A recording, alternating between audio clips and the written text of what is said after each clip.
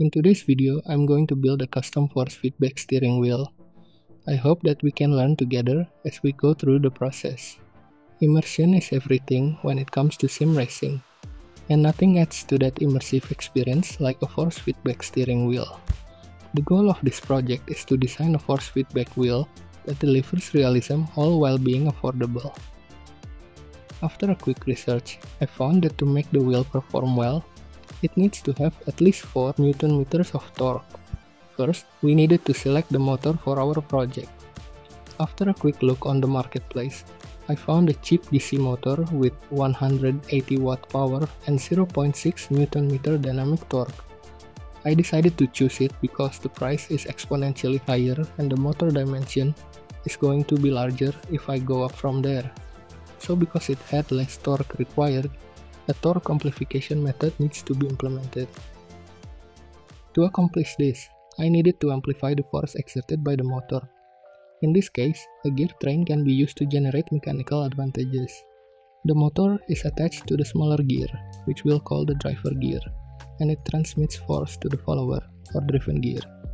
Due to the difference in circumference between the two gears, the driver gear needs to rotate 4 times for every rotation of the follower gear.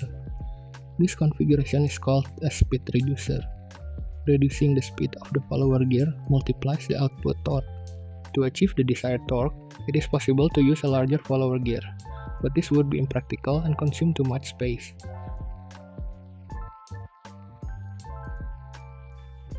To solve this, a compound gear is used to achieve a significantly large gear ratio in a compact space, allowing for more precise control over speed and torque while maintaining a smaller overall size compared to a simple gear train.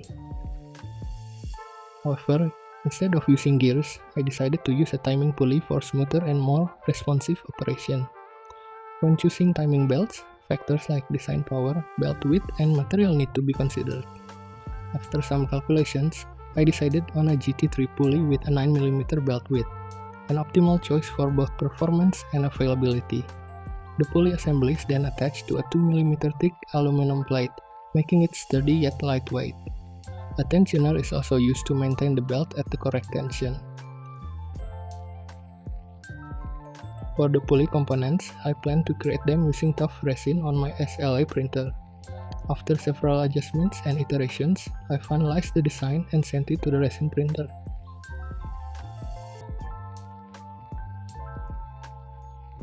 I use Anycubic flexible tough resin for the print.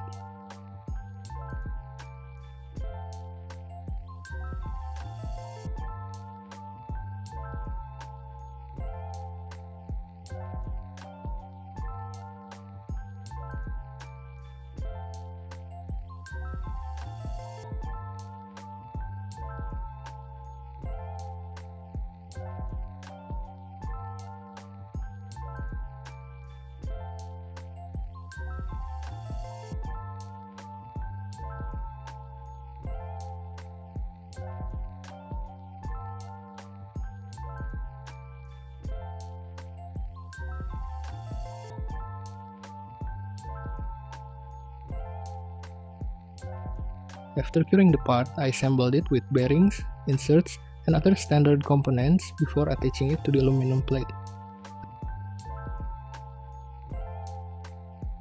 I created the plate using a laser cut 2mm thick aluminum sheet and bent it using 3D printed dies. Unfortunately, I forgot to film the process.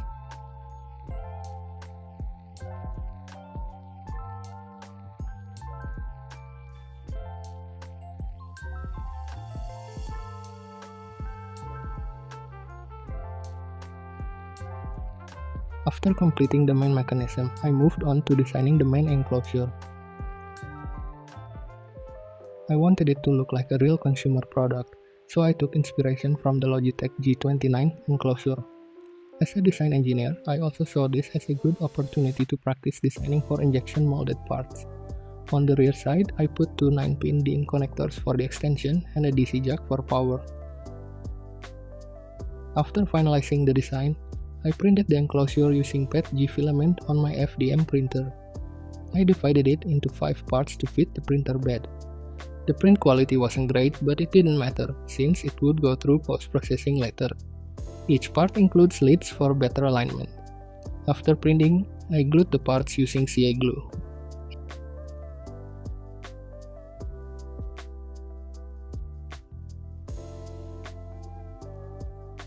Here's the enclosure after sanding and applying putty to smooth the surface.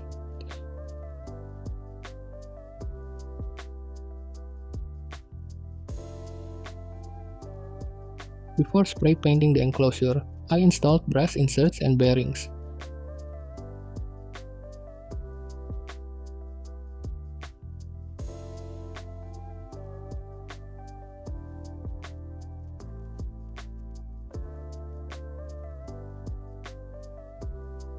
And here's the final result of the enclosure.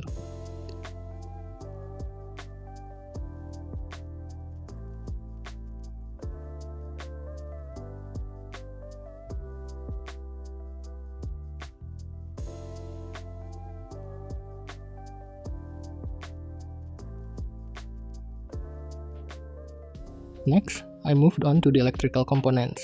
Initially, I used the Arduino FFB wheel library for the firmware and wiring. While the library is well documented and easy to follow, it didn't work with my setup.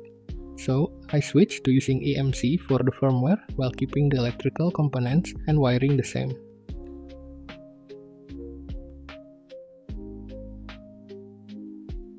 It worked well, so I decided to design a PCB to make the setup cleaner and more organized. The PCB integrates all the necessary components, simplifying future designs for the shifter, throttle, and brake. Before continuing, let's talk about today's sponsor, PCBWay. PCBWay doesn't only manufacture custom PCBs, they also offer 3D printing services. They can print in various materials like resin, nylon, TPU, and even metals. If you don't have a 3D printer or your printer can't handle specific materials, PCBWay has you covered. Simply upload your 3D model, select the material, and get a quote. Please check them out, I'll leave the link in the description below. Back to the PCB assembly. Since I didn't have a hot plate for soldering SMD parts, I used a soldering iron instead.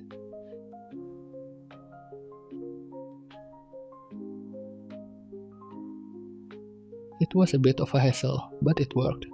The PCB includes an Arduino Micro as the brain, a BTS7960 motor driver, an HX711 for the load cell, to be used later for the throttle and brake and other passive components.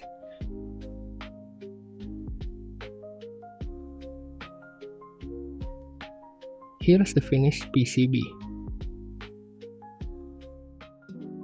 After assembling the mechanical and electrical components, I integrated everything into the enclosure.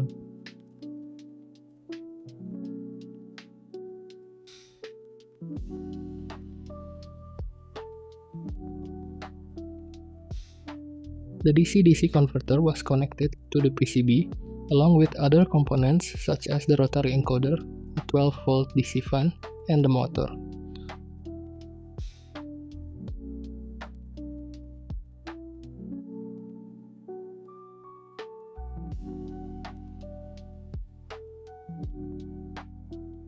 Once the main assembly was complete, I attached the steering wheel mounting hub.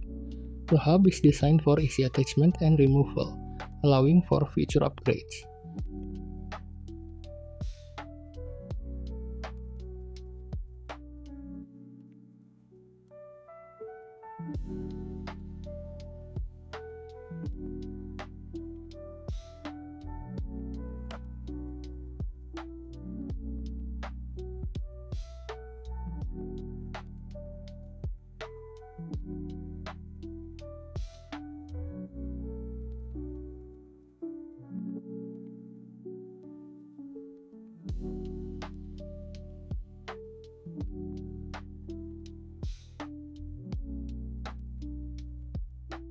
Time for testing. First, I open the EMC app and set the CPR to 4 times the PPR of the rotary encoder. In this case, the encoder's PPR is 400, so the CPR is 1600. I set the H bridge as shown on the screen. After saving the settings, I set the wheel angle to 900 degrees. Before testing in a game, I check the wheel's response using wheel check. there was a slight delay, likely due to insufficient belt tension. I am also considering replacing the shaft with aluminum for improved rigidity. Finally, I tested it in Euro Truck Simulator.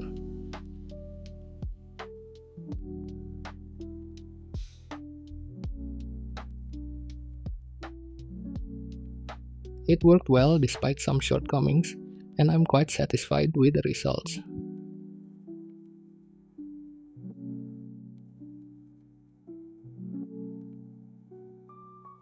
Oops, I think I need to improve my driving skills. I'll work on solving the issues and save the improvements for future videos, where I'll also design extensions for the throttle and brake. Thanks for watching.